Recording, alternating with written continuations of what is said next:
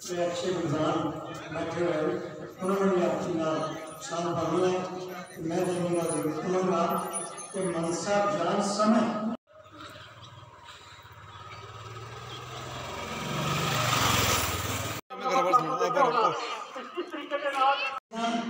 ਉਹ ਇਸ ਤਰ੍ਹਾਂ ਕੇ ਕਾਈ ਦੇਣਾ ਦੀ ਕਮਾਈ ਜਿਹਨਾਂ ਆਪਣੀ ਚਾਹ ਕੋ ਹਰ ਚਾਹ ਦੇ ਉੱਤੇ ਪਰਦਾ ਪਾ ਜਾਂਦਾ ਹੈ ਇੱਕੋ ਹੀ ਸਮਾਜ ਦੇ ਵਿੱਚ ਇੱਕ ਸੰਗਤ ਕਰਦੀ ਹੈ ਕਿ ਸੰਗਤ ਦੀ ਸੇਵਾ ਸਮਾਜ ਦੀ ਸੇਵਾ ਬਲਾਦੀ ਦੀ ਸੇਵਾ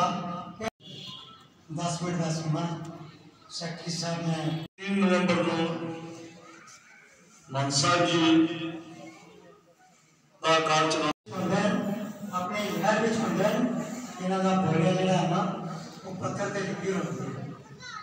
ਆਪ ਜੀ ਦੇਖਦੇ ਰਹਿਣ ਕਿਸੇ ਨੇ ਕਰਦੇ ਆਪ ਜੀ ਪੁੱਛ ਕੇ ਰਹਿਣ ਲੋਗੇ ਹੋ ਬਹੁਤ ਸਾਰੇ ਸੰਗਤਾਂ ਬਾਹਰ ਤੋਂ ਆਏ ਨੇ ਠਾਕਰ ਭਾਈ ਮੇਲਾ ਸਿੰਘ ਜੀ ਨੇ ਉਸ ਮੋਤੀ ਮਹਿਲ ਦੇ ਵਿੱਚ ਪੱਥਰ ਨੂੰ ਚਾਰ ਫਾੜੇ ਕਰ ਦਿੱਤੇ ਸਨ ਇੱਕ ਲਿਖੇ ਫਾੜ ਪਾਟਾ ਮਾਰ ਇਸ ਲਈ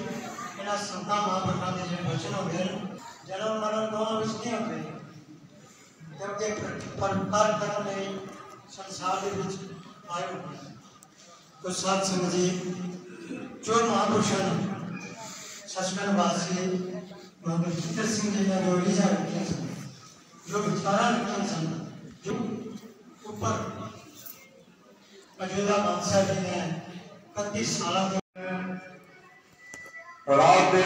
ਲਗਭਗ ਸਾਢੇ 11 ਜਾਂ 12 ਦੇ ਦਰਮਿਆਨ ਆਪਣੇ ਕਮਰੇ ਤੋਂ ਨਿਕਲ ਕੇ ਦੋ ਆਵਾਜ਼ਾਂ ਮਾਰੀਆਂ ਅਸੀਂ ਤਿੰਨ ਪਾਰਟੀ ਪਾਰ ਕੇ ਬੈਠੇ ਹੋਏ ਸੀ ਇੱਕ ਆਵਾਜ਼ ਸੀ ਸਾਧੂ ਸਿੰਘ ਇਹ ਭਾਈ ਸਾਧੂ ਸਿੰਘ ਇਹ ਦੋ ਆਵਾਜ਼ਾਂ ਮਾਰੀਆਂ ਮਾਨ ਸਾਹਿਬ ਜੀ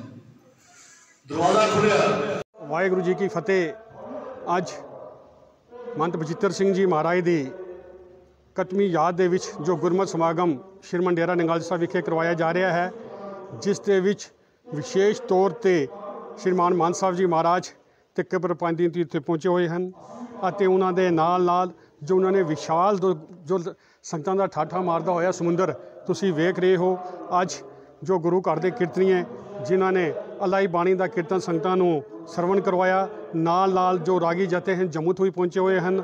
ਅਤੇ ਜੋ ਲੋਕਲ ਸਾਡੇ ਕੋਲ ਰਾਗੀ ਜਥੇ ਹਨ, ਉਹਨਾਂ ਨੇ ਔਰ ਜੋ ਪ੍ਰਚਾਰਕ, ਲੋਕਲ ਪ੍ਰਚਾਰਕ ਹਨ, ਉਹਨਾਂ ਨੇ ਵੀ ਜੋ ਹੈ ਸੰਗਤਾਂ ਨੂੰ ਜੋ ਮਨ ਬਚਿੱਤਰ ਸਿੰਘ ਜੀ ਮਹਾਰਾਜ ਦੀ ਜੀਵਨੀ ਤੇ ਜੋ ਰੋਸ਼ਨੀ ਪਾਈ ਹੈ। ਕਿਉਂਕਿ ਤਕਰੀਬਨ 1947 ਦੇ ਵਿੱਚ ਸ਼੍ਰੀਮਾਨ ਮਾਨ ਸਾਹਿਬ ਜੀ ਮਹਾਰਾਜ ਇਸ ਸਾਹਿਬ ਸ੍ਰੀ ਗੁਰੂ ਗ੍ਰੰਥ ਸਾਹਿਬ ਮਹਾਰਾਜ ਦਾ ਓਟ ਆਸਰਾ ਲੈ ਕੇ ਸ਼੍ਰੀਮਾਨ ਮਹੰਤ ਮੰਗਲ ਸਿੰਘ ਜੀ ਮਹਾਰਾਜ ਨੇ ਇਸ ਗੱਦੀ ਤੇ ਬਿਰਾਜਮਾਨ ਕੀਤੇ ਸਨ ਔਰ 1947 ਦੇ ਵਿੱਚ ਹੀ ਬਹੁਤ ਵੱਡਾ ਜੋ ਘੱਲੂਕਾਰਾ ਹੋਇਆ, ਜਿਸ ਦੇ ਵਿੱਚ ਸਾਡੇ ਮੁਲਕ ਦੇ ਦੋ ਹਿੱਸੇ ਹੋ ਗਏ। ਜੋ ਮੈਕਸਿਮਮ ਜੋ ਬਹੁਤ ਵੱਡਾ ਨੁਕਸਾਨ ਸਿੱਖ ਕੌਮ ਨੂੰ ਹੋਇਆ, ਉਸ ਵਕਤ ਜੋ ਗੁਰਦੁਆਰਾ ਸਾਹਿਬ ਦੀ ਬਿਲਡਿੰਗ ਸੀ, ਬਹੁਤ ਵੱਡਾ ਕਬਾਲੀਆਂ ਨੇ ਇੱਥੇ ਹਮਲਾ ਕਰਕੇ ਅਗਨੀ ਭੇਟ ਇਸ ਬਿਲਡਿੰਗ ਨੂੰ ਕਰ ਦਿੱਤਾ ਔਰ ਗੁਰਦੁਆਰਾ ਸਾਹਿਬ ਨੂੰ ਅਗਨ ਭੇਟ ਕੀਤਾ ਔਰ ਉਹਨਾਂ ਨੇ ਤਕਰੀਬਨ ਬਹੁਤ ਵੱਡੀ ਸੇਵਾ ਸਿੱਖ ਪੰਥ ਦੀ ਕਰਦੇ ਹੋਏ ਇਸ ਗੁਰਦੁਆਰਾ ਸਾਹਿਬ ਦੀ ਇਸ ਬਿਲਡਿੰਗ ਨੂੰ ਤਾਮੀਰ ਕਰਵਾਇਆ ਸਿੱਖ ਕੌਮ ਨੂੰ ਜੋ ਹੈ ਸਿੱਖੀ ਦੇ ਨਾਲ ਜੋੜਿਆ, ਬਾਣੀ ਬਾਣੇ ਦੇ ਨਾਲ ਜੋੜਿਆ, ਬਰਾਦਰੀ ਭਾਈਚਾਰੇ ਦੇ ਨਾਲ ਜੋੜਿਆ, ਅਗਰ ਜੋ ਉਜੜੇ ਪੁਜੜੇ ਅਸੀਂ ਜੋ ਹੁਣ ਪਾਕਿਸਤਾਨ ਤੋਂ ਆਏ ਹੋਏ ਸਾਂ ਉਹਨਾਂ ਨੂੰ ਵੀ ਜੋ ਆਪੀ ਸ਼ਰਮ ਕੇ ਲਾਇਆ। ਅੱਜ ਉਹਨਾਂ ਦਾ ਜੋ ਹੈ, ਅਸੀਂ ਕਤਮਾ